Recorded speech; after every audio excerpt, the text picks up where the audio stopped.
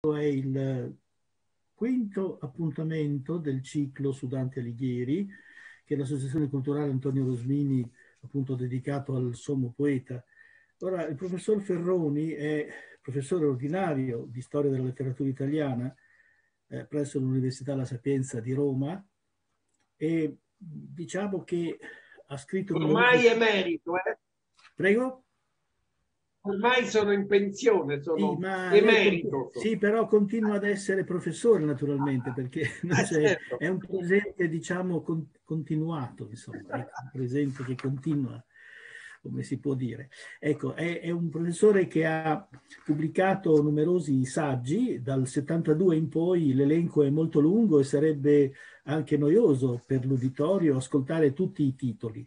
Mi limiterò a ricordare che eh, tra questi titoli ci sono ehm, un, uno, uno, spazio ampio è occupato da, dalla, da storie della letteratura italiana. Ad esempio, la prima, mi sembra che la prima edizione del 1991, in quattro volumi, che poi ha avuto anche altre edizioni e ristampe e riedizioni, ad esempio del 2012 eh, storia della letteratura italiana, il Novecento e il nuovo millennio, dalle origini al Quattrocento, dal Cinquecento al Settecento, dall'Ottocento al Novecento. Ma il professor Ferroni si è eh, occupato anche di altri argomenti, ad esempio il comico Forme e Situazioni, eh, pubblicato nel 2013, ehm, ha studiato anche poeti importanti del Novecento, Giovanni Giudici e Andrea Zanzotto, ad esempio. E non si è sottratto in alcuni casi a, a polemiche nei confronti, diciamo, di autori che eh, non ha esitato a stroncare come Alessandro Baricco e altri, e altri diciamo, letterati che non riusciva a stimare. Ecco, sempre presso Donzelli nel 2006, sul banco dei cattivi, a proposito di Baricco e di altri scrittori alla moda. Quindi è un militante, è un critico vero, è un critico vero, insomma.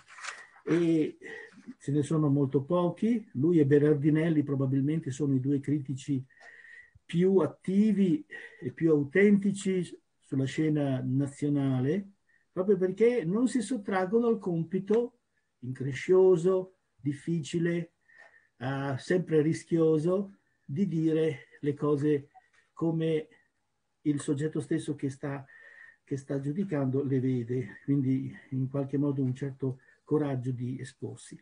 Ma l'opera, diciamo che è più pertinente per la conferenza di questa sera è L'Italia di Dante. Viaggio nel paese della commedia, pubblicato presso la nave di Teseo nel 2019. È un testo di cui sicuramente il professor Ferroni ci parlerà e, e ricordo che è vincitore di due premi, almeno a me risultano due premi, vincitore della 46esima edizione del Premio Letterario Internazionale Mondello per la sezione opera critica e poi del premio Viareggio Repaci 2020 per la sezione saggistica. Ecco. E, quindi adesso io eh, sospendo la, questa breve introduzione, presentazione e do la parola al professor Ferroni. Grazie. Grazie professor Cugnoli, la ringrazio, ringrazio lei, l'associazione Rosmini, Trento, poi eh, anche Rovereto naturalmente, ma e, Trento a cui sono particolarmente legato. Ringrazio anche il, il professor Clamer perché c'è la, la, la Dante Alighieri di Bolzano e anche quella di, di Merano che, che, sono collegate, quindi mi fa piacere eh, parlare alla regione, così, eh, a, a, alla regione al limite nord d'Italia, come, eh, eh, vicino all'Alpe che serra la Magna, come dice per l'appunto Dante. E in questo percorso eh, che cercherò di fare attraverso delle immagini, che poi eh, vediamo un po'.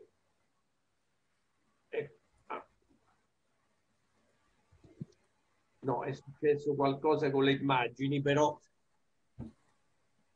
scusate che torno indietro.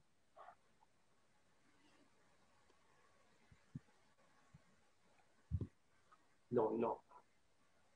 Va bene, ritorno. Eh, scusate, no, dicevo per quanto riguarda il percorso nel, dell'Italia, eh, dovrei giustificare prima eh, in fondo le ragioni di, di, quel mio viaggio, il viaggio che ha dato luogo poi a questo, a questo libro. Io da più di, di vent'anni, no, ormai quasi trenta, pensavo a quanto sarebbe stato bello fare un viaggio in tutti i luoghi d'Italia nominati da Dante, nominati nella commedia e non solo, soprattutto nella commedia. Non i luoghi dove Dante è stato, ma i luoghi che lui evoca nel, nei contesti più diversi nel suo grande poema. E perché questa idea? Eh, questa idea in fondo è nata dalla, dalla suggestione della forza evocativa della parola dantesca, dal fatto che il linguaggio di Dante fa sì che gli basta a volte nominare con un nome proprio, semplicemente un luogo per farcelo in qualche modo ba balenare davanti. No? C'è questa eh, forza espressiva del linguaggio dantesco no? che, che, che, è così forte, così intensa, che, ecco, che, quindi mi ha sempre eh, affascinato proprio nella, nella, sua capacità di far parlare le cose, l'evidenza della realtà. E allora questo si accompagnava alla mia passione per la geografia, che non è solo una passione personale, è anche legata al fatto che mi pare che la geografia sia un dato determinante del nostro rapporto col mondo e che purtroppo viene insomma, studiata sempre meno. Ho visto che le giovani generazioni, mi capitava pure quando facevo gli esami all'università, no? si trovano spesso forse abituate troppo a, al, alla guida dei social o, o di tutti i, i, sistemi insomma, di, eh, che, che, ci, fanno, ci guidano nei, nostri percorsi, per cui non, senza che noi guardiamo le cose, guardiamo lo schermo e troviamo i luoghi. No? Ecco, invece, proprio per tutto questo, credo, sento che le giovani generazioni si stanno un po' troppo allontanando dalla conoscenza specifica della concretezza dei luoghi. Quanto sia importante poi un momento come questo, dove proprio è in pericolo lo spazio, l'ambiente, e questo l'abbiamo visto in fondo anche nel contesto del Covid. Molti scienziati ci hanno detto che che c'è qualcosa che, eh, che, che, agisce proprio eh, a livello ambientale che ha portato a, a una cosa terribile come, come, come, come, la pandemia. Quindi la necessità di confrontarci con i luoghi, con la loro concretezza, con la loro evidenza più assoluta. No? Ecco, allora eh, questa esigenza, che è un'esigenza molto contemporanea, e l'effetto fortissimo della parola di Dante mi ha, mi ha fatto, eh, come dire, mi ha spinto a, a fare questo percorso eh, in tutti i luoghi d'Italia e a vedere insieme quello che ho tentato di fare nel mio libro, non solo il contesto dantesco, non solo i luoghi danteschi, no? ma vedere e poi eh, quello che poi questi luoghi sono divenuti, come sono oggi, nel bene e nel male, e qual è tutta la storia che ci è passata sopra, l'arte che vi si è costituita. Certo, se, avessi, se fossi andata a vedere proprio tutto avrei fatto un'enciclopedia, no?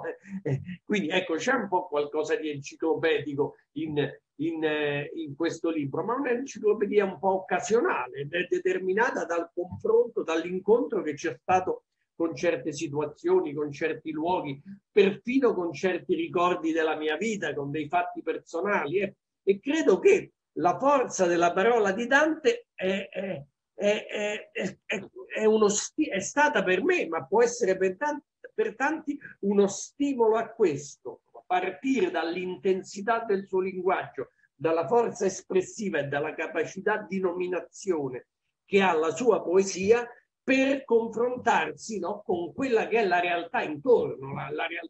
Dante è così lontano, no? e, e il suo mondo è così distante da noi, ma il paese che abbiamo davanti è cambiato radicalmente, però eh, eh, la sua terra è sempre quella, anche se la, ci abbiamo lavorato nei secoli sopra, è stata modificata, è stata costruita eh, costruita spesso in modo meraviglioso, altre volte in modo misero e poverissimo, e altre volte in modo distruttivo, come è stato fatto purtroppo no?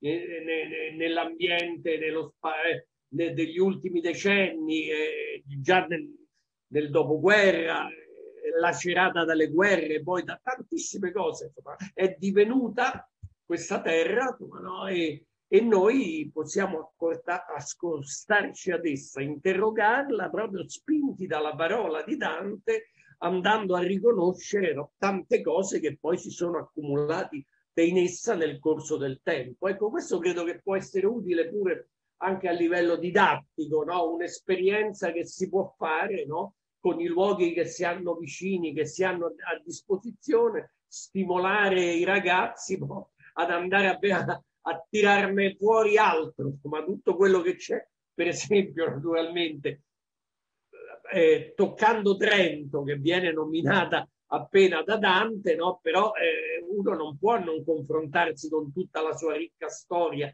con tutto quello che c'è passato eh, dentro. Non c'è solo quindi e, e intorno, no? non c'è solo il, monu il, monumento a Dante, naturalmente, che è la cosa più dantesca, più esplic esplicitamente dantesca, che pure evoca un momento particolare della storia, no? de, de, eh, evoca un poeta come Carducci e tante altre cose. Non c'è solo quello, ma c'è tutta una, una ricchissima storia che, che, a cui bisogna dare comunque uno sguardo no? Beh, a ciò che era eh, ai tempi di Dante, ciò che è, è venuto dopo. Ecco, ecco, quindi la spinta che mi ha portato a questo libro è stata in fondo proprio questa, no? individuare il volto di un'Italia, che è l'Italia di oggi, ma attraverso eh, la parola di Dante, eh, riaffacciandoci verso la, la distanza poi di, di, di, Dante da noi. Ecco. Ora io cercherò di, di, non so se riesco a ritrovare le immagini, ecco, come avevamo fatto prima. Eccole qua, sì, sì. Benissimo. E...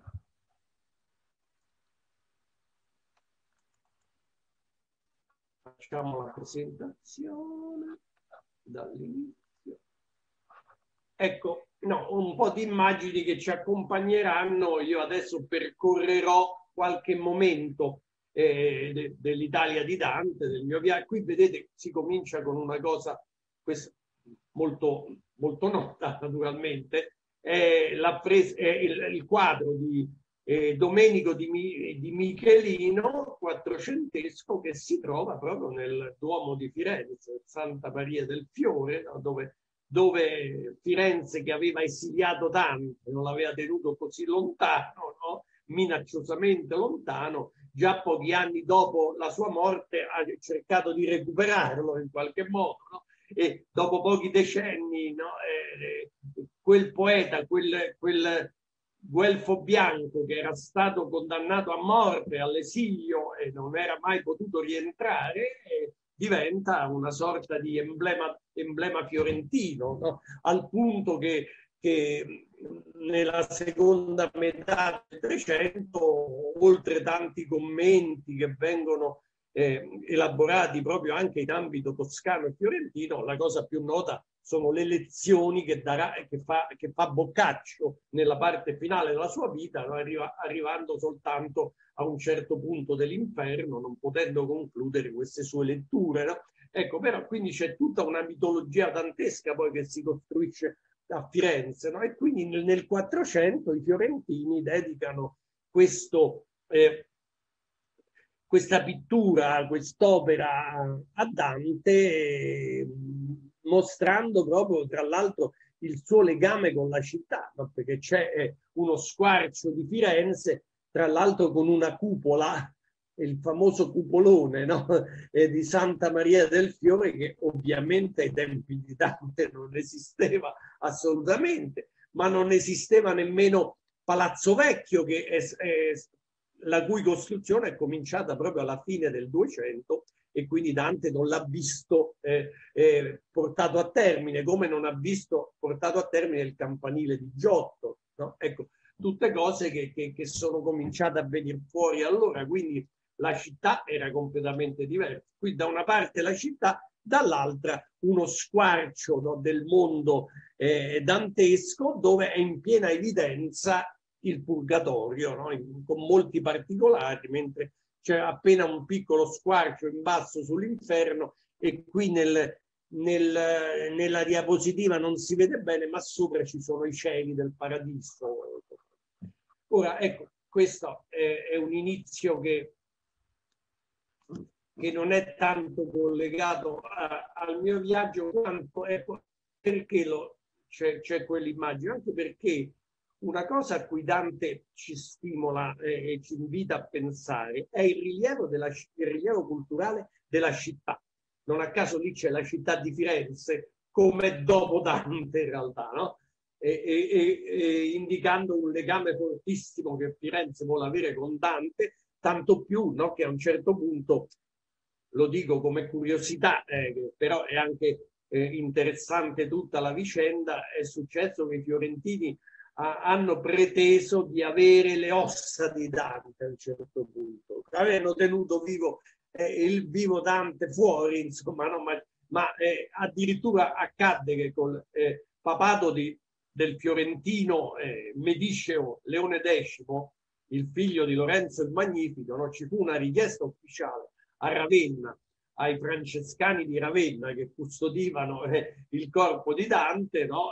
una richiesta di, di mandarlo a Firenze, di trasferirlo a Firenze con un degno sepolcro. La cosa eh, eh, suscitò grande agitazione nei frati francescani che cominciarono per la prima volta a nascosero eh, i resti di Dante, no? e cioè ci sarà nei secoli successivi tutta una storia, una vicenda di nascondimenti ritrovamenti, eccetera, una storia molto particolare, ma eh, curiosa assai. No? Per fortuna dei, dei, dei francescani, eh, Leone X morì poco dopo perché fece questa richiesta nel 19 e morì all'inizio del 1521 e poi non se ne fece più niente con tutto il caos di quegli anni delle guerre d'Italia, eccetera. Comunque, ecco, questo è un piccolo particolare marginale, ma, ma che insomma, mi piaceva ricordare.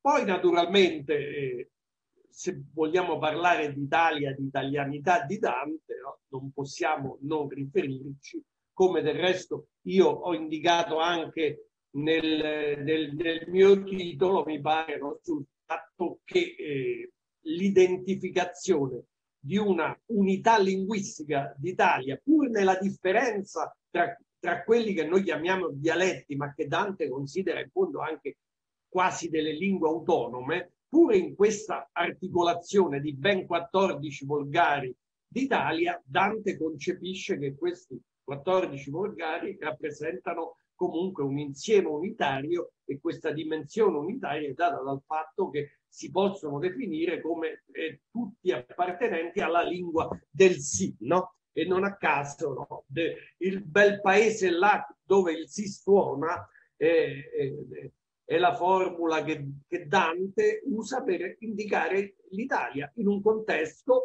che, che, che riguardava soltanto Pisa. No? Hai Pisa, vituperio delle genti, del bel paese là dove il si suona, no? Eh, eh, eh, quindi l'Italia viene subito identificata per questo e la lingua del resto è, è distinta da Dante dalla, da, dalle vicine lingue della lingua doc e la lingua d'Oil, cioè la Provenza e la Francia. No? Vedete poi eh, io c'è la, la, la cartina de, de, delle, delle, varie lingue Dante, ma lasciamo, eh, eh, passiamo a, ad alcune tappe eh, eh, in cui ecco, un viaggiatore nell'Italia eh, potrebbe andare a farsi una mappa di tutti i luoghi dove ci sono ritratti di Dante. No? Eh, eh, sono tutti ritratti che sono un po' lontani naturalmente dalla sua eh, eh, effettiva immagine perché sono tutti ritratti postumi. Come sapete non abbiamo nessun ritratto eh, eh, veramente preso dal vero, no? anche se qualcuno qualche volta crede di identificare, qualcuno ha creduto di identificare eh, un'immagine di Dante perfino nella cappella degli Scrovegni di Padova, eh, sulla controfacciata dove c'è il giudizio universale ci sarebbe una figura che sarebbe quella di Dharma e credo che però non sia molto probabile la cosa. Questo è un altro ritratto che si trova, è una cosa poco no, meno noto questo, che si trova comunque là, là vicino eh, nel, eh, in ciò che resta del palazzo dell'arte dei giudici e dei notai, dove adesso c'è addirittura un ristorante, c'è un ciclo di tardo 300 dove sono eh, affrescati vari intellettuali fiorentini, tra cui Dante, questo sarebbe quello che resta dell'affresco relativo a Dante, poi c'è Petrarca, Boccaccio eh, e Zanobi da strada. È una cosa singolare questo. Io l'ho scoperto, non lo conoscevo, l'ho scoperto durante il viaggio, poi ho, ho studiato, le, ho letto de, dei saggi di, storici dell'arte che hanno ricostruito tutto eh, l'orizzonte di costruzione di questo ciclo eh, di affreschi che adesso stanno eh, in un ristorante si può mangiare guardando Dante lassù. Ora, ecco, questo è, è Dante e arriviamo subito al, alla parola Italia che la prima volta che si presenta nella commedia è un passo famosissimo nel primo eh, libro e nel primo canto eh, dell'inferno, quando Virgilio parla del Veltro, questo salvatore che verrà a cacciare la lupa e, e, a, e a, salvare l'Italia, indicherà proprio l'Italia con questa formula che è rimasta celebre, umile Italia, no? di quella umile Italia Pia salute per cui morì la Vergine Capilla, Eurielo e Turno e Niso di Perute. Umile Italia, come è una cosa molto nota, questa no? è una deformazione, fraintendimento forse, o deliberata deformazione di una formula usata da Virgilio nel terzo libro dell'Eneide, quando i troiani si avvicinano a Roma, no? vedono eh, umilenque videmus Italia. Quella, lì, in quel contesto, umile Italia vuol dire l'Italia bassa, cioè eh, la spiaggia italiana, la, la parte bassa dell'Italia, e più lontano si vedono i colli, tra l'altro. Dal mare vedono la spiaggia. Qui Dante trasforma quell'umile che ha un valore semplicemente eh, geografico, topografico, lo trasforma in un aggettivo di tipo morale, no? Che fa riferimento al, non all'Italia dei, dei tiranni contro cui si scaglia nel, nel, nel suo poema, non all'Italia eh, de, della nobiltà, dell'orizzonte cortese o della ricchezza dei mercanti fiorentini contro cui altrettanto si scagliano, ma un'Italia de, del lavoro, della, de, della persistenza nella vita quotidiana, no? dell'attaccamento alle cose che contano no? nella sofferenza del vivere. E questo aggettivo è, è, stato ripreso poi anche eh, da autori successivi, fino a Pasolini, per esempio, che ha insistito molto no? sulla perdita dell'umile Italia, sull'Italia che non c'è più. E l'Italia contadina deformata e e distrutta, secondo lui, no? dall'orizzonte neocapitalistico. E le, nel contesto italiano prevalgono naturalmente da una parte le città, dall'altra il paesaggio, eh? dall'altra le montagne, i castelli e le città naturalmente con cui ha a che fare nel modo più diretto Pasolini sono Roma e Fire, eh, scusate, Dante, eh, con cui ha a che fare direttamente Dante, sono Roma e Firenze naturalmente, no? Eh, e sono due immagini quasi opposte.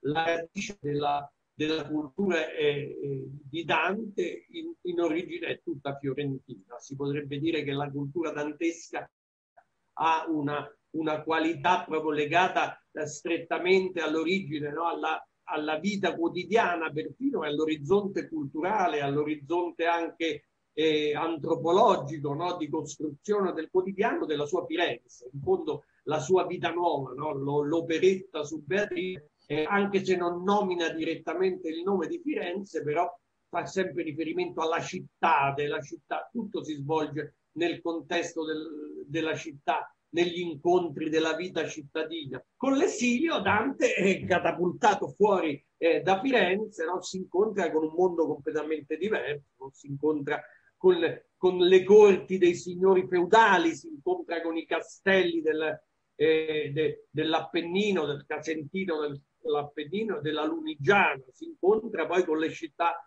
della Romagna e della Valle Padana. No? E rispetto però a Firenze, che considera sempre più nemica, no? si scaglia contro la Firenze contemporanea, che non, eh, non lo accetta, che lo condanna in questo modo no? tremendo. E rispetto a Firenze, Roma, che pure lui amava molto come cultore del, de, della, dell'antico, del mondo classico, Roma diventa il modello positivo.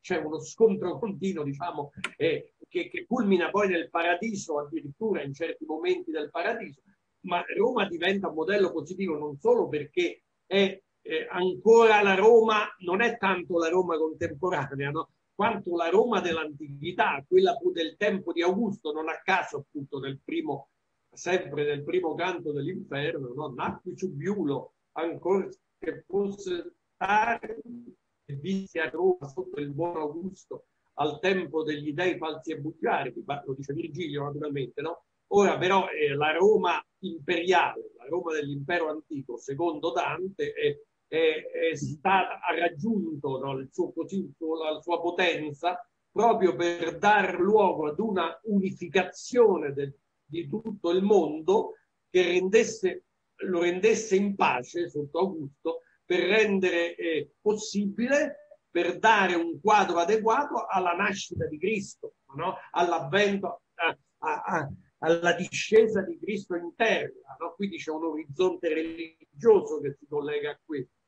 Qui Roma è un modello di, non solo di, di potere, di gloria, no? ma anche di unità, di pace del mondo. E questo, e, e questo Dante finisce poi di ritorno dell'impero nel presente. Quando scende eh, in Italia il, l'imperatore tedesco Enrico VII, naturalmente Dante insiste molto sul ritorno a Roma, sulla restaurazione di Roma, sul ritrovamento di una possibilità di pace in Italia e in tutto il mondo cristiano in riferimento a, a Roma. E, e, ora, eh, questo quindi è, è, un dato che continuamente fa presentare Firenze come, come il luogo che traligna, che addirittura eh, si è consumato e si è rovinato attraverso le, la sua stessa espansione economica, eh, con una avidità che è dominata dal maledetto fiore.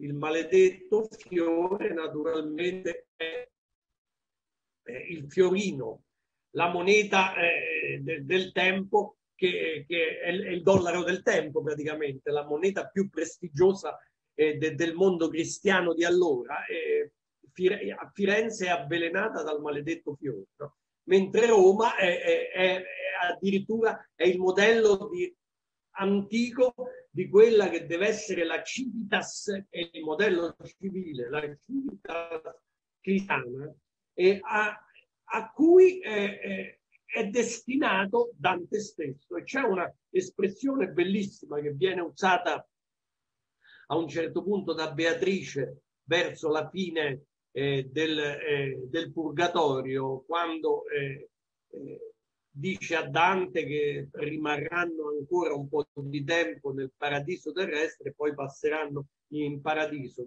E dice qui sarai meco sarai un po' con, con me come Silvano che abiti dei boschi qua nel paradiso terrestre. Poi dice, e sarai meco senza fine cive di quella Roma onde Cristo è romano.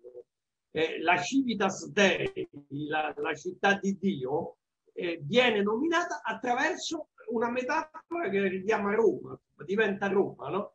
Sarai meco eh, cittadino senza fine no? di quella Roma che non è Roma vera, insomma, la Roma onde Cristo è romano. Quindi Roma è addirittura un modello non solo del, eh, del potere, del necessario potere terreno, il potere dell'impero che deve eh, eh, non contraddire ma accompagnare il potere spirituale del Papa, Roma non è soltanto modello del potere terreno, ma, ma si proiettano come modello eh, del, della, del, del, del, paradiso praticamente. Eh.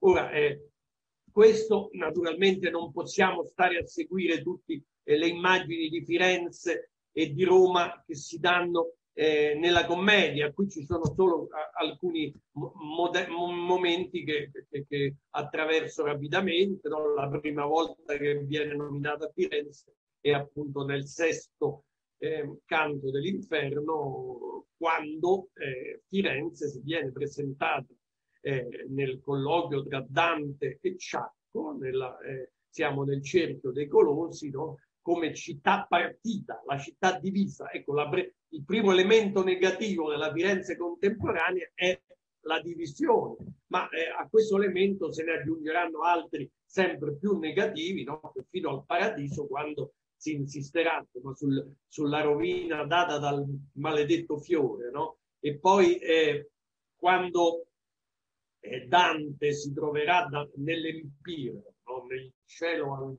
di fuori dei cieli, eh, eh, si, eh, si, guarderà meravigliato no? Questo, l'immagine formidabile della candida rosa dell'Empireo e farà un, eh, una similitudine che ricorda eh, i pellegrini che da posti lontani, come può essere la Croazia, vengono fino a Roma e quando vedono Roma restano meravigliati. No? Ecco. O anche i barbari, come facevano i barbari nei tempi antichi, no?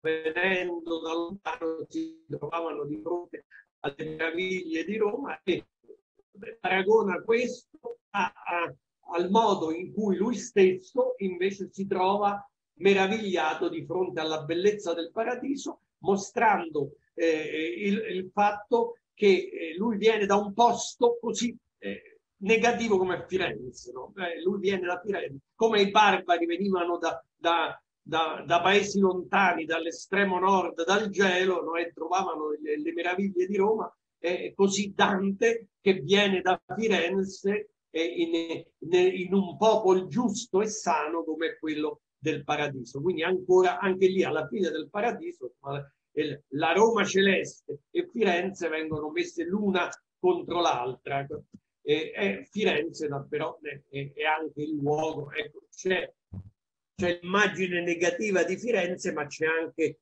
la nostalgia no? per il legame originario con Firenze, con la Firenze che era il bello vile anche dove lui ha dormito Agnello, il Battistero. E tra l'altro nel venticinquesimo canto del Paradiso, quando il poema sta per giungere alla fine, Dante no? pensa all'impossibile ritorno a Firenze dove potrà prendere la corona di poeta, no? eh, vicino all'ovile dove Ovio dormì Agnello, nemico ai lupi che gli danno guerra, è il battistero di Firenze, che viene ricordato nell'interno, nella terza bolgia dei simoniaci, quando Dante incontra i papi simoniaci, si trova davanti alla, al luogo dove è, è punito eh, Niccolò III, dentro che i, i, papi, sapete, simoniaci o tu, stanno dentro dei fori e sono a testa in giù e si vedono eh, uscire dai fuori solo le gambe e i piedi no, lambiti da, da lingue di fuoco e Dante e Virgilio si trovano davanti a questi eh, a questi luoghi che vengono indicati come qualcosa di simile a dei pozzetti che stavano nel battistero di Firenze no? e che il mio bel San Giovanni lo chiama lì, no? Eh, questi fori dice non mi parea né ampi né maggiori di quei che sono nel mio bel, bel San Giovanni fatti per luogo dei battezzatori e che lui a, a un certo punto ha rotto una volta e qui ci sono tutti studi che insistono su, sulle varie ragioni di questa rottura, ma lasciamo perdere naturalmente. Ma la perché la cosa più singolare qui, eh, che voglio far, far notare, no? è che lì Dante, di fronte a, a Niccolò III, viene scambiato da Niccolò III per Bonifacio VIII. Niccolò III attende, infatti, l'ha saputo dalle profezie, da, dal, dal, dall'antivedere il futuro che hanno fino a un certo punto i dannati, ha saputo che eh, dopo di lui verrà Bonifacio VIII, lui metterà più giù nel pozzo e al posto suo eh, eh, ci sarà Bonifacio VIII. Ma il fatto è che Dante viene scambiato, e qui mi pare che questa è una delle invenzioni viene scambiato per il suo stesso nemico, no? E infatti eh, Niccolò III dice, sei tu già coscritto, sei tu già coscritto Bonifacio. Virgilio gli dice subito, no, digli che non sei tu, no, non sono colui, non sono colui che credi. Ora, tutto questo si riannota però al ricordo di un luogo fiorentino, come, come eh, ancora questa è un'altra immagine del... Eh, eh, Firenze poi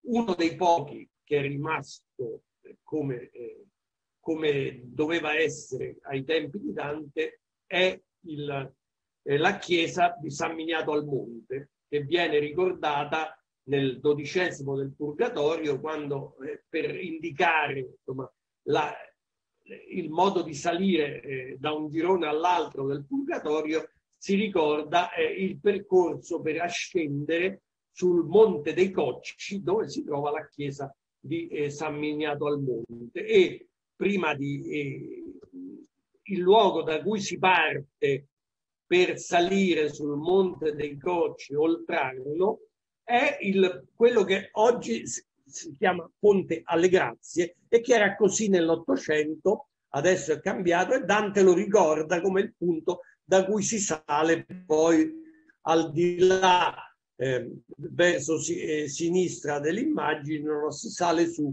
a, ecco, adesso è così la salita eh, del monte l'ardita, eh, si rompe del salire l'ardita foga, dice Dante, no? facendo riferimento alla, alla, alla ascesa fino a, alla meravigliosa chiesa di San Miniato al Monte, che è uno dei pochi monumenti che già erano in piedi, più o meno naturalmente ha avuto qualche modificazione nel corso del tempo, ma la struttura architettonica è perfettamente conservata, è uno dei, dei luoghi naturalmente più affascinanti eh, di Firenze. Firenze che viene vagamente ricordata in tutte, in tutte le più varie zone eh, de, naturalmente della città, soprattutto nel discorso di Cacciaguida che si dilunga molto sulla Firenze antica e su come questa Firenze antica è stata rovinata, secondo lui, no, dal, eh, da, da, tutti coloro che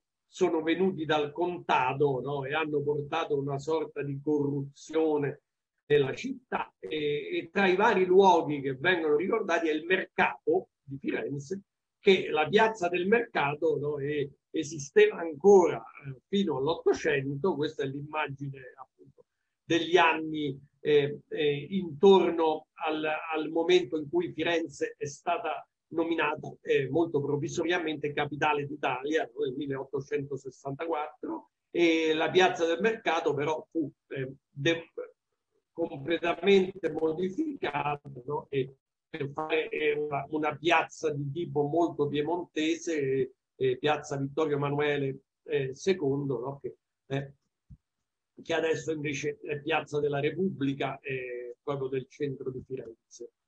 Quindi ecco, qui ecco, sono dei passi che, che, che, citavo prima per quanto riguarda il rapporto tra Firenze e Roma. E, e, per parlare di Roma, Dante usa la formula Laterano, no? quando Laterano alle cose mortali andò di sopra. Laterano però è, ai tempi di Dante eh, era il palazzo del Papa, che eh, questo è nella forma attuale, molto più tarda naturalmente, no? accanto alla Basilica eh, di San Giovanni, eh, che eh, esisteva già eh, allora e queste, queste, logge che si vedono costituiscono oggi eh, l'uscita posteriore della basilica, ma con una loggia che era eh, nel Cinquecento, ma era ancora ai tempi di Dante, la loggia per le benedizioni. Naturalmente l'assetto attuale non è quello del tempo dantesco, ma è, è, è quello eh, fatto eh, costruire dal Papa Sisto IV nel Cinquecento, quinto scusate, dal Papa Sisto V nel Cinquecento come loggia per le benedizioni, ma in quella stessa posizione c'era la loggia delle benedizioni ai tempi di Dante, con un'architettura ovviamente completamente diversa, che, a cui si affacciò il Papa Bonifacio VIII al momento della proclamazione del Giubileo. E di questo è rimasto, questa è la facciata eh, propria della, della, basilica attualmente. Ecco, c'è questo, questo eh, resto di affresco, è un frammento di affresco di Giotto che si trova eh, su un, un, un, pilastro interno della, della, Basilica di San Giovanni attualmente, ma che è il resto di un, di un affresco più ampio che fu demolito quando fu creata quella loggia cinquecentesca.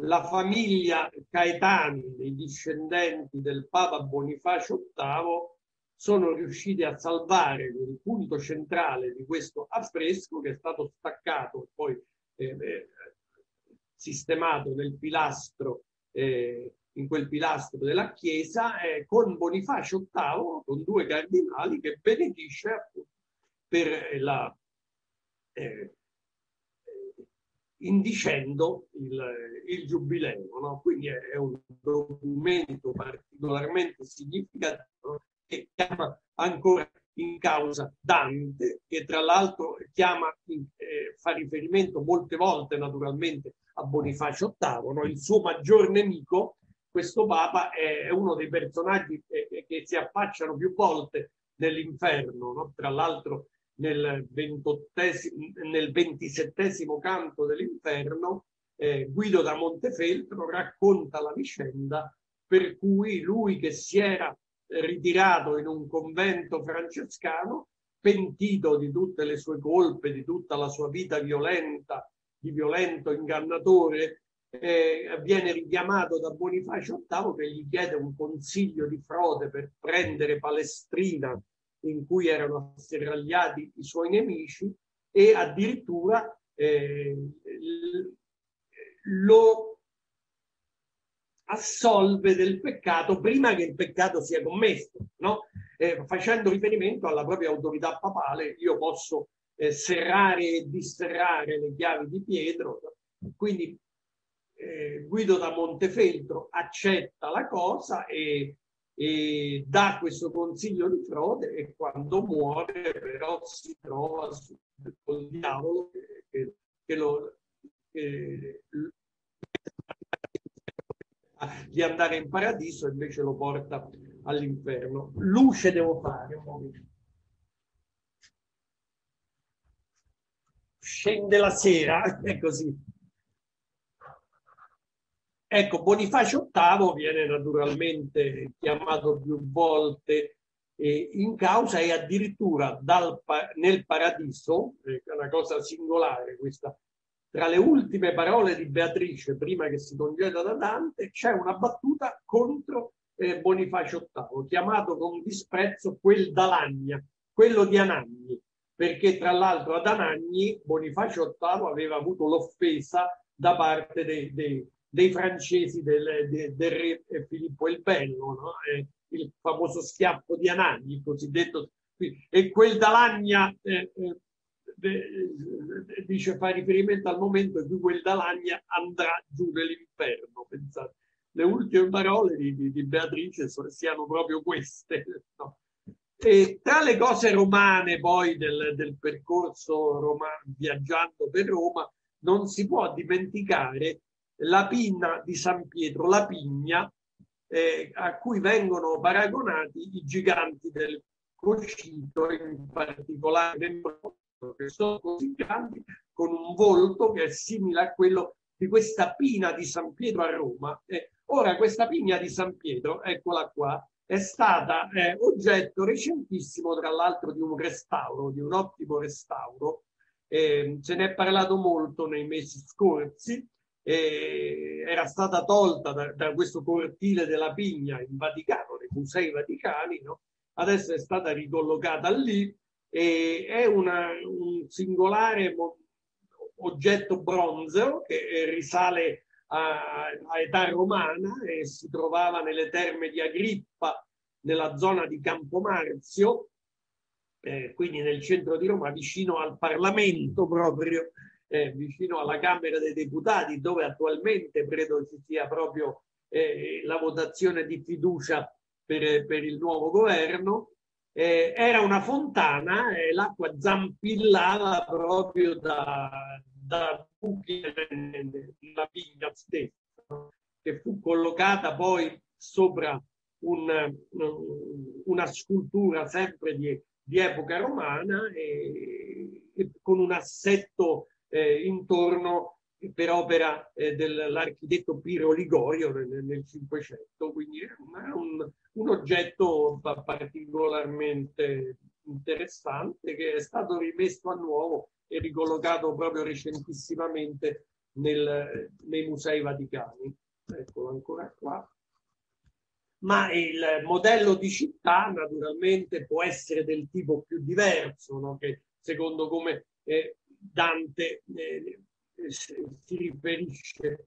E, e, tra questo, per esempio, c'è una piccola città eh, eh turrita, circondata da torri, che è quella di Monterigioni, nei pressi di Siena, no? a cui ancora eh, eh, vengono eh, paragonati i giganti stessi. No? Per, per, indicare la testa di Dembrotte ha indicato la pigna, per indicare il fatto che i, i giganti sono confitti nel ghiaccio del fiume eh, de, Cocito, del lago Cocito, confitti nel ghiaccio tutti intorno, e, e lì praticamente lo stesso fanno i, i, le torri di Monteriggioni che circondano eh, la, la, cittadina fortificata, come del resto possiamo vedere. Ecco qui tutta un'immagine da lontano, eh, qui dall'alto. È un affascinante luogo anche questo che, che che era così, almeno la, la, la cinta muraria e le torri erano così disposte già perfettamente ai tempi di Dante. Ma naturalmente eh, una delle regioni poi più percorse da Dante eh, è la Romagna, eh, durante tutto il periodo del, del, suo esilio tra il Casentino, cioè e l'Appennino tosco-romagnolo e la Romagna ha variamente frequentato questi luoghi, è stato il rapporto poi con personaggi delle corti e dei castelli eh, della Romagna e del Casentino e in fondo eh, la prima, eh, il primo personaggio che, che, lui cita viene proprio dal, da lì, Francesca da Polenta, che ricorda Ravenna. Eh, noi la chiamiamo tutti da Rimini, però in realtà lei era da Ravenna. No? Siede la terra dove nata fui, sulla marina dove il po' discende per aver pace coi seguaci tui. C'è questo riferimento a, Ravenna, no? che sta vicino al delta del Po, la marina dove il Po discende per aver pace coi seguaci sui, qui addirittura lo scendere del Po verso il mare, no? è come verso la marina, è come un andare no? verso quella pace che invece a Francesca e a tutti i dannati è, è negata. Ecco, questo è, è, il quadro di William Blake su, su i lussuriosi del, del quinto canto dell'inferno. Ecco, Ravenna, come sapete, c'è la tomba di Dante, abbiamo prima fatto riferimento, vabbè, qui è il celebre, il celebre quadro di Ingres, sapete che c'è una vastissima produzione di eh, opere d'arte eh, basate sul modello dantesco. Ci sono dei libri molto interessanti, recenti, tra l'altro, in proposito molte, moltissime immagini, no? e nell'Ottocento poi soprattutto c'è, una produzione sterminata, è uno dei temi più, eh, che più colpiscono l'immaginario romantico, ovviamente è il bacio eh, di, di, di, Paolo e Francesca, questo è, è, il, è il, il, quadro di Engre, qui addirittura eh, c'è Gianciotto che sta subito in agguato, no? eh, il bacio pre- precede immediatamente l'assassinio, vedete c'è il libro anche caduto in basso, e quel giorno più non vi leggemmo avanti. Vabbè, la Romagna e la famiglia dei Malatesta, eh, di cui eh, a parte Paolo e, e, e il, il, fratello Gianciotto, veniva da Verucchio, che è una località eh, di cui c'è la, dove c'è la Rocca Malatesta tuttora, molto vicino a Rimini, nell'entroterra eh, riminese. No? E è interessante vedere come eh, Dante approfitti di questa parola, eh, così, con questo suono, no? anche con questa rima ucchio, no? eh, rima rarissima tra l'altro, verucchio, per ricavarne un'immagine de, della violenza della stessa famiglia dei Malatesta. Nell'inferno vengono citati eh, il fratello di Gianciotto e, e di Paolo, Malatestino, e il loro padre, Malatesta da Verucchio, eh, come coloro che fanno là dove sogliono, fanno dei denti succhio. Eh, il, il, mastino giovane, il mastino eh, più vecchio da Verucchio, là dove sogliono, fanno dei denti succhio. Dominano nel, nel luogo solito, cioè Rimini e dintorni, per indicare la violenza del loro dominio, questa, usa questa formula, fanno succhiello con i denti, sembra che i denti proprio ehm, eh, entrino con la loro violenza fino in fondo no, nel corpo, del tessuto eh, de, della città, dei luoghi. No? Ora, questa, questa rima verucchio, succhio, è suscitata proprio in questa immagine della violenza dei malatesta eh, viene eh, suscitata proprio dalla, da, dall'effetto fonico della, della parola succhio. No? questo rivela come, come agisca fortemente l'inventiva dantesca. Questa invece è un'altra rocca che Dante cita nel Purgatorio, è la rocca di San Leo, eh? Eh, sempre tra le Marche e la Romagna. No? Eh, basti in San Leo e discende Sinnoli, montasi per Bismantola in Cacume con esso il piede ma qui conviene quam voli. Eh, fa riferimento a luoghi eh, per salire dei quali eh, eh c'è bisogno no, di una bella arrampicata, fa, per fare riferimento a questi luoghi, eh, eh, Dante fa riferimento a questi luoghi per presentare al lettore l'immagine della fatica della, della, salita sul monte del Purgatorio. No? Lì è faticoso salire eh, sul San Leo, no? ma nel, nel, Purgatorio è ancora peggio, bisognerebbe volare, dice a un certo punto. Quindi eh, questo uso del, dei luoghi in rapporto alle similitudini no? è molto importante, è un riferimento continuo alla, alla realtà dell'Italia contemporanea per eh, offrire l'immagine della realtà immaginaria, no? Del, della configurazione topografica eh, eh, di, di, di, questo eh, oltretomba. E nel Casentino poi ci sono invece tanti luoghi danteschi, perché il Casentino Dante l'aveva, eh, cioè l'alta valle dell'Arno sarebbe il Casentino, Dante l'aveva eh, attraversato più volte, specialmente nell'esilio, ma l'aveva attraversato anche nella giovinezza quando era ancora a Firenze, partecipando tra l'altro alla battaglia di Campaldino contro gli Aretini, contro i ghibellini eh, eh, di Aretino e i Guelfi di Firenze eh, ottennero una, una grande vittoria a Campaldino nel 1289 a cui partecipò Dante tra i feditori a cavallo, cioè addirittura tra la prima schiera di coloro che, eh, che eh, che attacca, dovevano attaccare all'inizio della battaglia. E, e Campaldino mantiene, eh, presenta una, un, varie testimonianze, c'è un monumento che poi vedremo eh,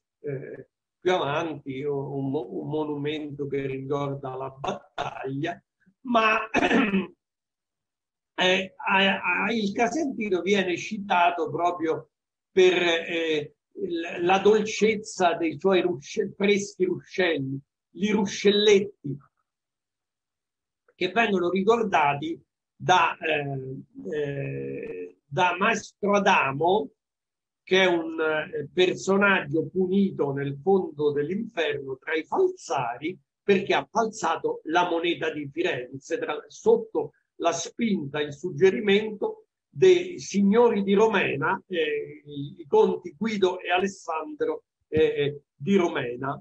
E ecco il castello di Romena, che si trova appunto non lontano da Campaldino, eh, tra l'altro è stato visitato, ci sono molte testimonianze d'annunziane perché eh, D'Annunziana eh, scriveva le laudi eh, eh, Alcione soprattutto ha soggiornato eh, que in, in, queste parti. E qui c'è una fontana, una fonte che viene, eh, tra l'altro c'è anche la lapide con i versi danteschi, una fonte che viene ricordata da questo maestro Adamo che dice che eh, se lui riuscisse a vendicarsi su quei fratelli che l'hanno costretto eh, a fare a falsare la moneta di Firenze, eh, rinuncerebbe perfino a Fontebranda, cioè alla, all'acqua di cui ha, ha, ha, bisogno, a sede, perché questi falsari sono condannati proprio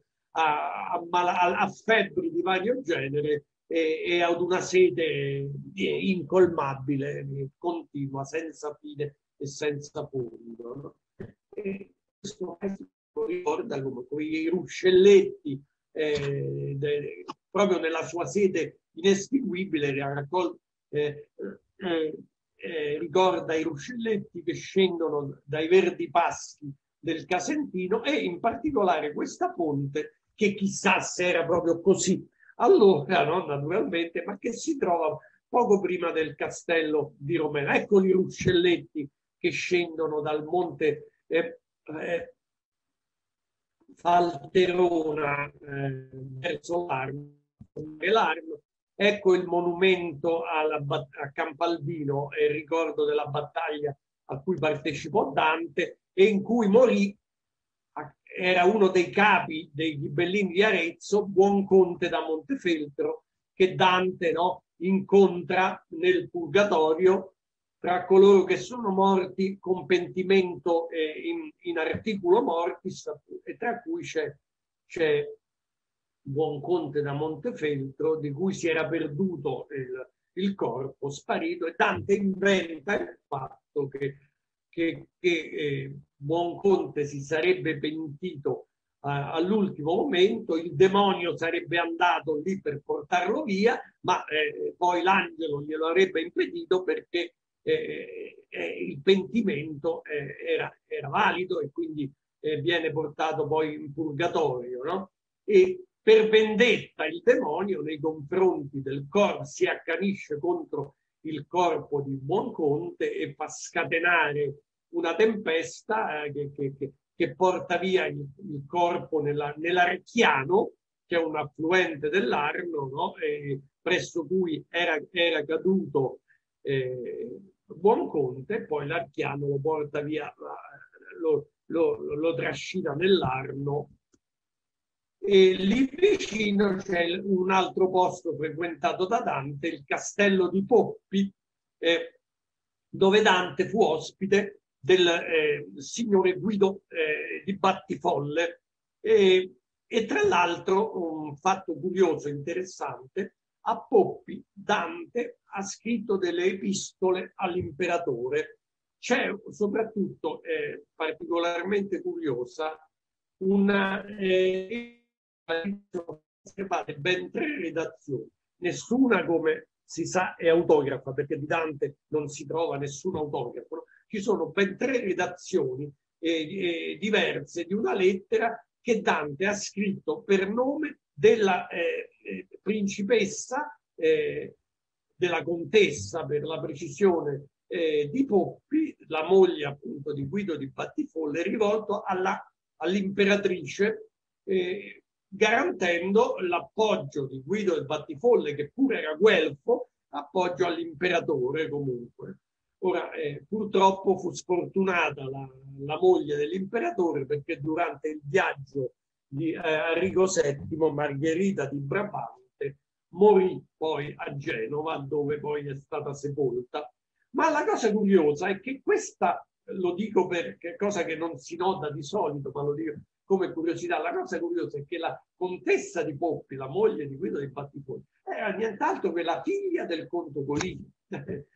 Quindi vedete, eh, eh, eh, Gherardesca si chiama Gherardesca dei Gherardeschi, tra l'altro, figlia del conto Colini, e viene da, da fantasticare no?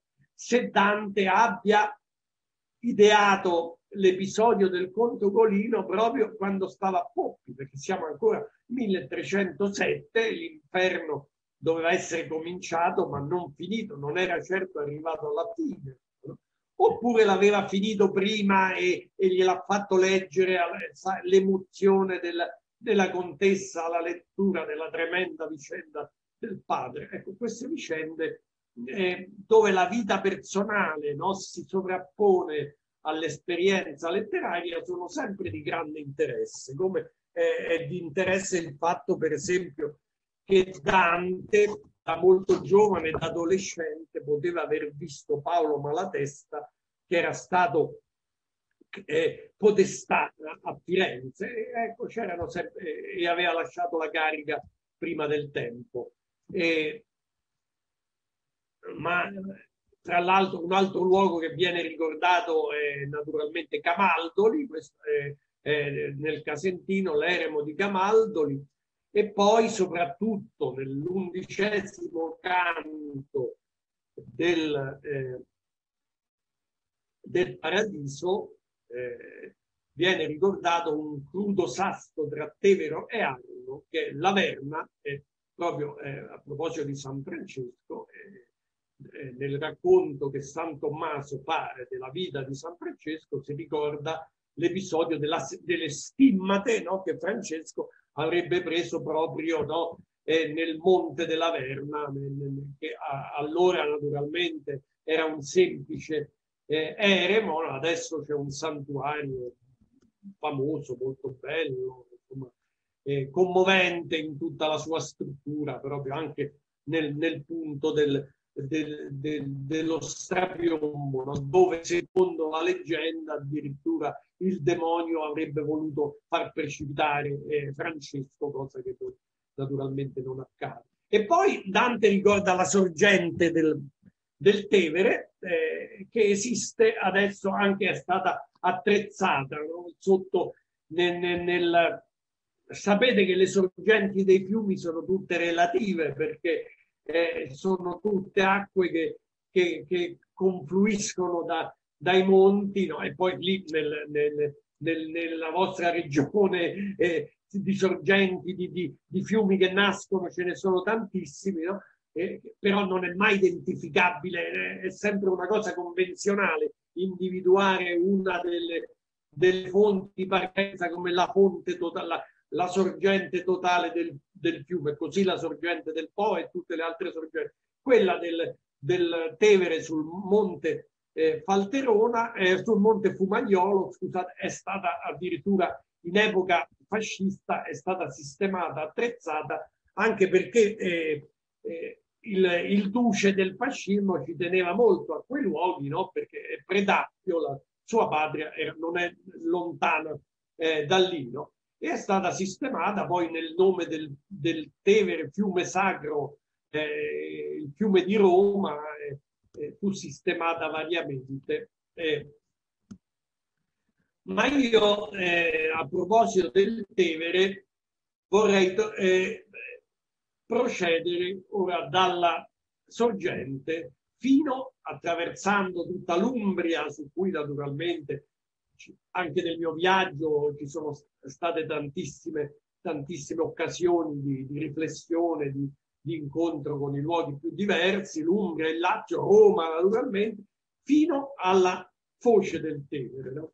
e che viene ricordata nel secondo canto del Purgatorio. Eh, eh, eh, Casella, eh, la, l'amico di Dante, il musico amico di Dante che Dante incontra, morto da poco, è appena arrivato ai piedi del purgatorio per cominciare il suo percorso di penitenza e Casella dice di essere giunto là perché viene come tutte le anime purganti dalla eh, foce del Tevere dove le, un angelo raccoglie tutte le anime destinate al purgatorio.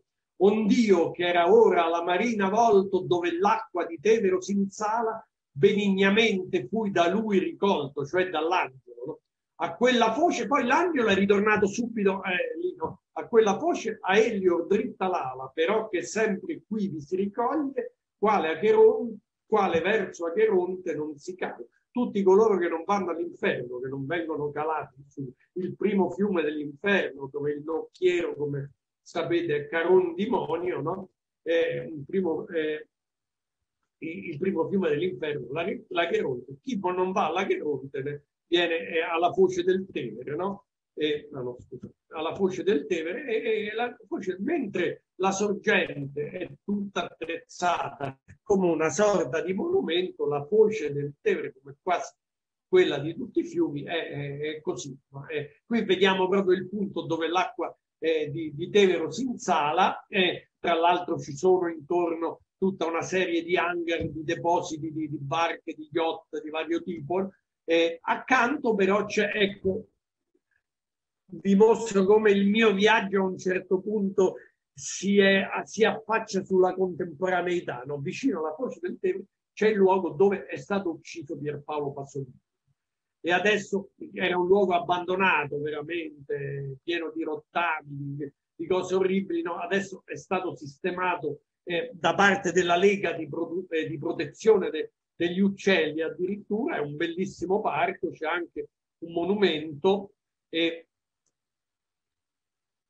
e questo è alla poesia di Pasolini perché Pasolini in una, in una sua eh, eh, poesia che a leggerla oggi può sembrare veramente angosciosa fa riferimento ad un suo ritorno a Roma eh, da un viaggio con l'aereo a Fiumicino no? e, e fantastica di una propria morte proprio presso la, eh, la foce del, del Tevere. No? Quindi una di quelle pre, come martire di se stesso e tra l'altro in questo contesto poetico inserisce anche una eh, citazione eh, dantesca, come colui che suo dannaggio sogna, come, come colui che sogna eh, il suo danno, la sua rovina. A questo senso di rovina, che, che è qualcosa che io poi ho, ho, afferrato in tanti luoghi d'Italia, purtroppo, insieme a tutte le bellezze d'Italia, questo senso di rovina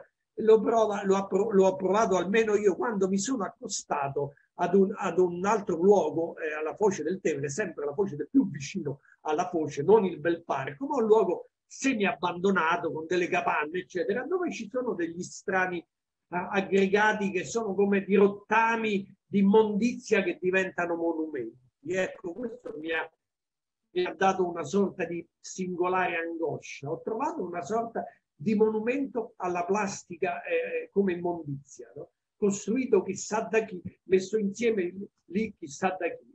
È, è stata una, una, di quelle immagini no? che danno il senso no? della contraddizione anche del presente, no? del fatto che viaggiare nel nostro meraviglioso paese, trovare i luoghi più belli e meravigliosi, eh, si lega spesso anche a, a, a confrontarsi non solo non tanto con le rovine, ma, ma, ma con ciò che si disgrega, no?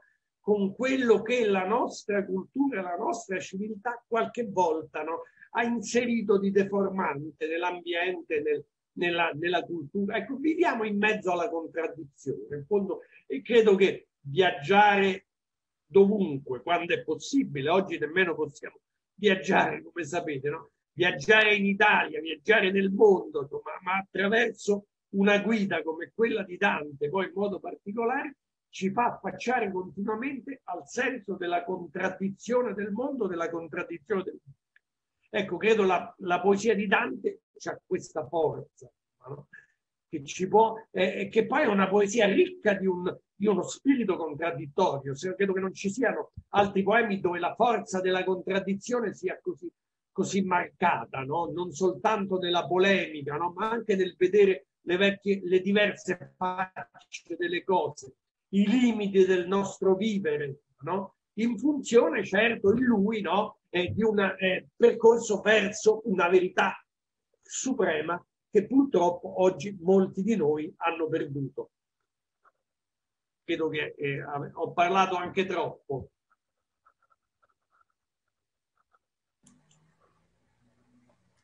Bene, grazie professor Ferroni della dottissima eh, relazione con un itinerario molto ricco e naturalmente attraverso non soltanto i luoghi ma attraverso anche le lingue. Interessante la, la parte che riguarda il divulgare eloquenza, ma no, non, voglio dare eh, spazio al professor Klamer che ha chiesto nella chat di una, le vuole, desidera porre un quesito. Ecco, prego professor Klamer, deve mettere l'audio. Ecco. No, volevo solo chiedere al professor Ferroni, intanto lo ringrazio per questa bellissima conferenza e ci ha fatto venire voglia ancora di più di leggere il suo, il suo grosso volume, ma, ma, ma molto interessante. E se, se, può fare un cenno ai luoghi danteschi della nostra regione, mh, da Tiralli a quel che c'è vicino a Rovereto, eccetera. Non so se certo, certo. il tempo lo consente. Sì, sì, volentieri, certo. Sì, sì, è chiaro che, che ci, non possono non esserci, insomma, ci sono tutti, eh, si, eh, cominciando da nord, cioè, Tiralli naturalmente, no? L'Al, l'Alpe che serra la Magna eh, sopra Tiralli, eh, parlando del lago di Garda, no? Eh, eh, Suso in Italia Bella giace un, un, lago di là dell'Alpe che serra la Magna sopra Tiralli, che ha nome Benacolo quindi c'è anche, fa parte del, una parte del Trentino, anche il lago di Garda naturalmente, no? Poi ovviamente Trento, come abbiamo detto, no? e, e, e il, il, castello nei pressi di Rovereto, ma poi soprattutto eh, la ruina, la ruina dell'Adige, no? quella che, che attualmente si, si, vede uno magari che passa in auto sulla stra- strada statale, quasi non la vede, ma no? perché è contornata dalla strada, però è, è formidabile, insomma, no? Col Monte Zugna in fondo, mi pare si chiama, no? E poi tutto, tutto questo eh, è un, un, fenomeno, tra l'altro vicino c'è quell'ambiente molto particolare che sono i lavini di Marco. Mm. E nel mio libro non parlo soltanto di questi luoghi direttamente nominati, ma visto che c'era l'Alpe di, che Serra la Magna, do uno sguardo molto ampio, ma insomma con parecchie pagine, a tutte le, alle Dolomiti, diciamo, no? a, a, a tanti territori, eh, eh, alle Dolomiti e quindi eh, ho fatto dei appositamente, dei, dico, devo un po' girare, anche parlare un po' di, di di queste montagne formidabili, la Marmolada, poi quando ci sono venuto, nel 2014 era il centenario no, de, dell'inizio della Grande Guerra, eh, che poi l'Italia è entrata nel 15, no? però erano già in atto molte mostre legate alle vicende della guerra e quindi un'interrogazione anche di questo, delle lacerazioni date eh, dalla guerra. A, a, a, al castello di Tirolo c'era tra l'altro una bellissima mostra su Robert Musil e eh, come soldato, combattente, no? E, e anche scritto, scri, giornalista per un giornale rivolto alle truppe austriache, tra l'altro, che è stato molto interessato. Ma ecco, ci sono quindi vari squarci sulla, sulla regione, tra l'Alto Adige e il Trentino, no?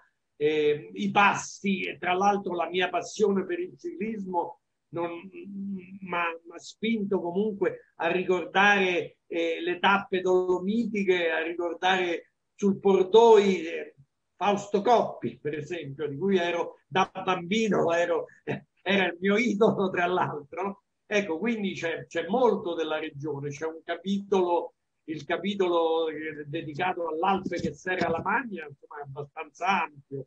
E quindi poi ci sono, c'è la Valsugana prima, e, e il lago di Caldonazzo, e, e di, di pozzi ce ne stanno tanti, eh, insomma, eh. e quindi sono desiderio di tornare grande desiderio di tornare, sperando che questa situazione incredibile in cui ci troviamo eh, non duri così, così tanto.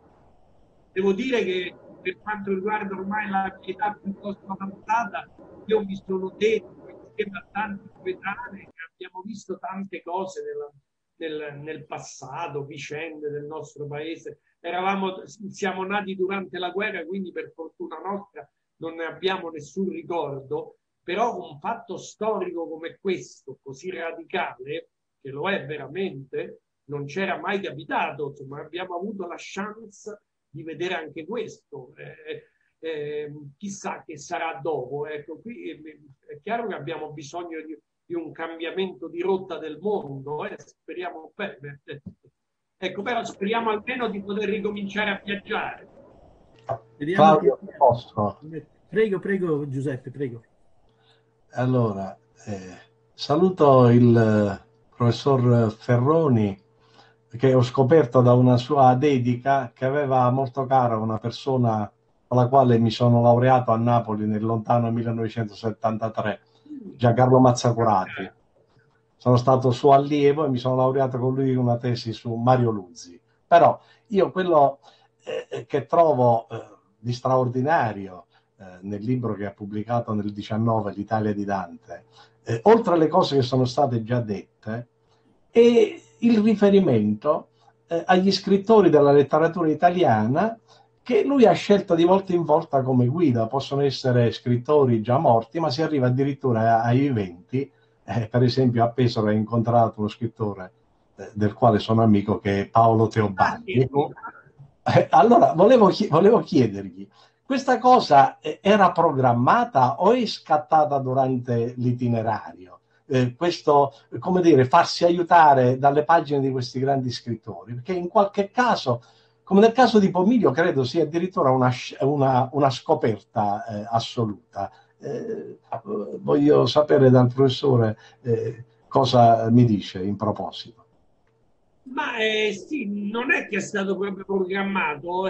Eh, il fatto è che questo viaggio era sicuramente legato a, a, a tutto quello che potevo trovare, no? e quindi arrivando in certi posti o pensando di arrivare in certi posti, mi veniva subito in mente qualcuno che c'era e che mi, mi piaceva consultare, mi piaceva incontrare, però volta per volta la cosa è venuta fuori. Ci sono stati dei casi per quanto riguarda scrittori del passato, io dovevo andare a un eh, convegno su Zandotto. Allora, perché non ci vado in collegamento al viaggio? Che, che Zandotto mi evoca tante cose per quanto riguarda il Veneto e per quanto riguarda certi suoi libri che sono così strettamente legati alla consistenza anche fisica di luoghi.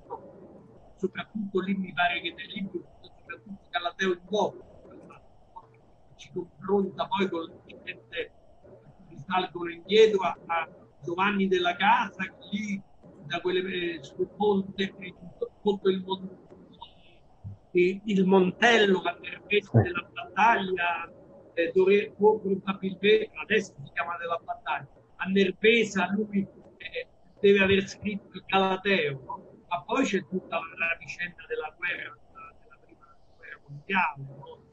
gli orrori della guerra, il sacrario commovente eh, del Montello e tutte queste cose sono venute poi in Berlino.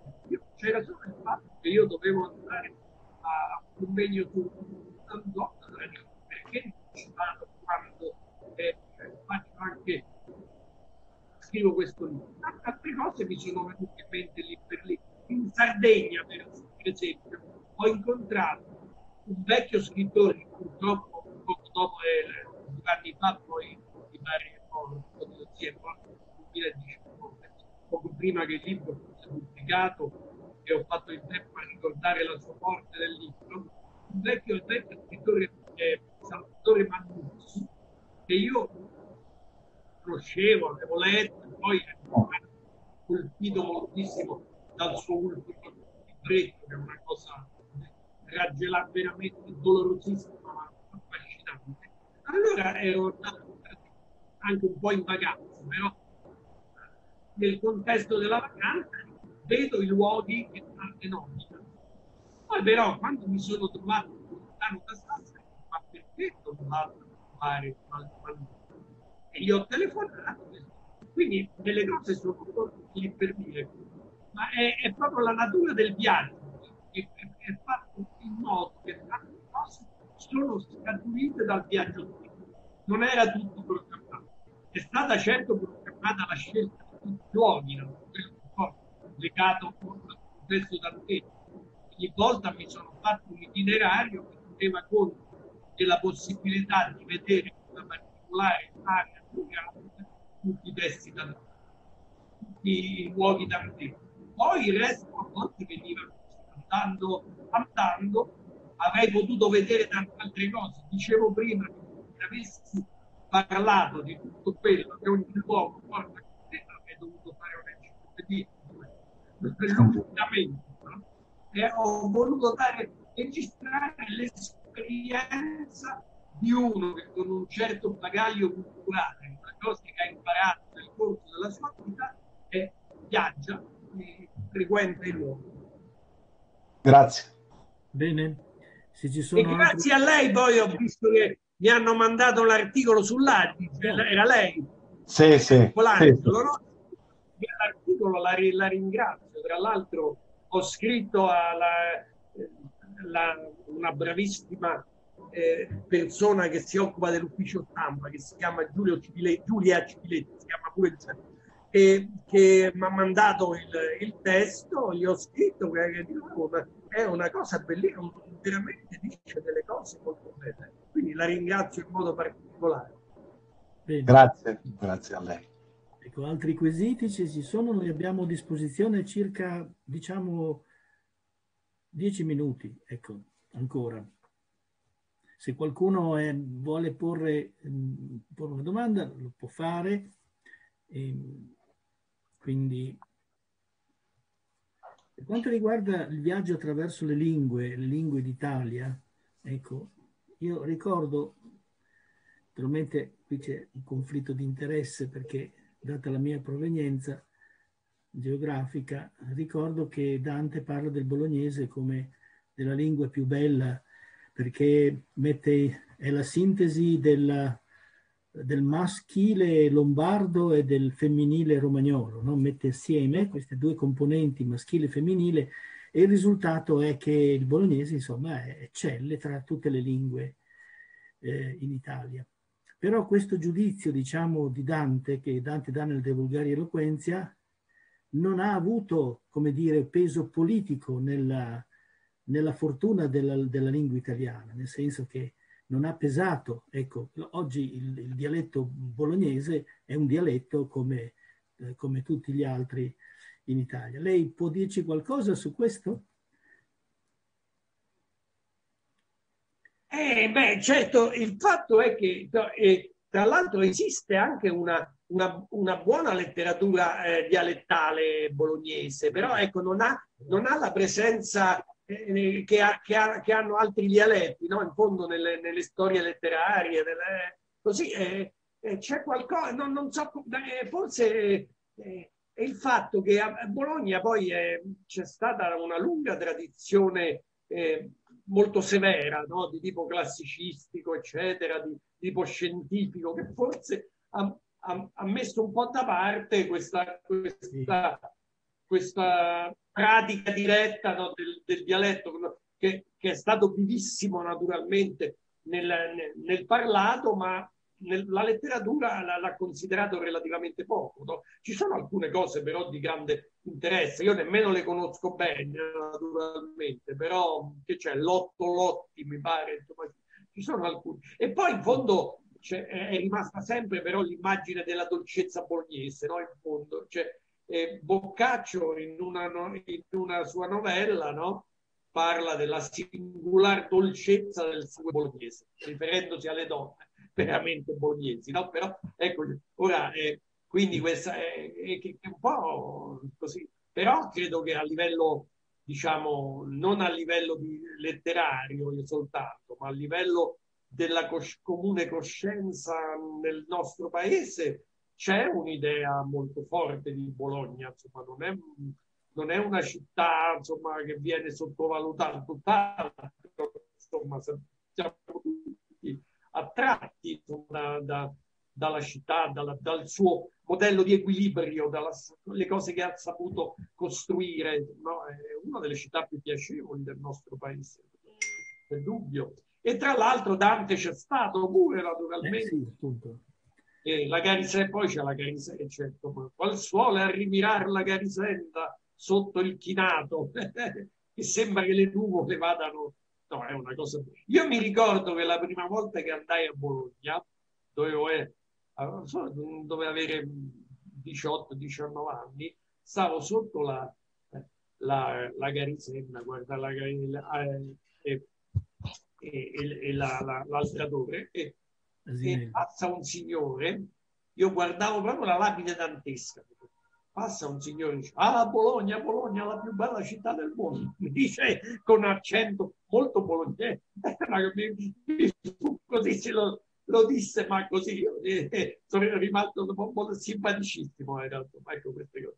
Poi vabbè, eh, sono tanti, tanti personaggi. Ecco. Io tra l'altro nel mio libro eh, ho perfino un capitoletto che lo chiamo Bolognesità culturale, che ricorda un po' il modello culturale bolognese del Novecento, quello che, che ho un po' sentito, c'era, c'era la Bologna alternativa, no? quella appunto desiderante, così, no? Questi un po' eh, comica, tutto il gruppo di Celati, e poi c'è la Bologna severa, ma, ma, ma molto umana, che io la vedo incarnata di erudita, ma nel, in quello che è uno dei personaggi per la mia eh, vita, per i rapporti personali che ho avuto, ma più affascinanti, che è stato Ezio Raimondi che è stato un grande italianista, eh, se, se, eh, che ha insegnato a lungo a Bologna, e, io sono rimasto sempre molto affezionato a lui, e aveva proprio una, era, era bolognese fino, fino, in fondo, aveva una, un suo legame fortissimo con la città e nello stesso tempo capace di spaziare a livello internazionale. No? Eh, leggeva tutto, l'uomo dei libri, Ecco, è stato, ma poi c'è avuto tanti amici, purtroppo un altro studioso eh, di Dante, anche scomparso qualche mese fa, Andrea Battistini, che è stato pure un, un allievo di Raimondi e poi un grandissimo studioso. Quindi io ho un legame fortissimo con Bologna. Purtroppo eh, l'aspetto linguistico non, non, non, l'ho mai studiato fino in fondo, quindi non, non essendo nemmeno un linguista, io non, e, e mi piacerebbe, se forse si potrebbe cercare di, di leggere un po' di letteratura eh, bolognese. E c'è una Bologna popolare poi nella letteratura. Pensiamo anche a Bertoldo, Bertoldino, eh, Cacasè, eh, eh, Giulio Cesare Croce. Insomma, eh, ci sono tantissime cose eh, da, da tenere ben presenti. Le segnalo che presso Pendragon, l'editore Pendragon, è stato pubblicato da poco in due volumi un lavoro di eh, Daniele Vitali, che è un glottologo che lavora a Bruxelles con la comunità europea, mm. proprio sui dialetti dell'Appennino, dell'Appennino diciamo da um, Rimini fino, fino, a Parma, Piacenza. Ecco. Ah, ah bene. Eh. Quindi insomma è uno studio molto documentato e, e che, varre, per cui credo, io non lo conosco, so che è stato pubblicato, ma conosco l'autore e quindi sono sicuro che si tratta di un'opera scientificamente seria e quindi rigorosa per chi, chi fosse interessato uh, ad approfondire. Ah beh, sì, sì.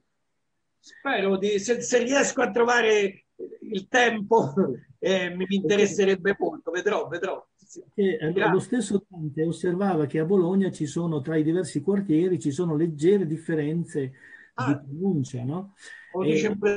vale anche per, per, il contado, per così dire, per la campagna. Evidentemente, ad esempio, tra Budrio e Bologna si tratta sempre di, eh, si trova a 20 km, 25 km da Bologna, ma lì abbiamo una, una, c'è qualche differenza di pronuncia molto precisa, per cui chi appartiene all'uno o all'altro ambito capisce subito se l'altro viene da Bologna o è budriese e viceversa, insomma.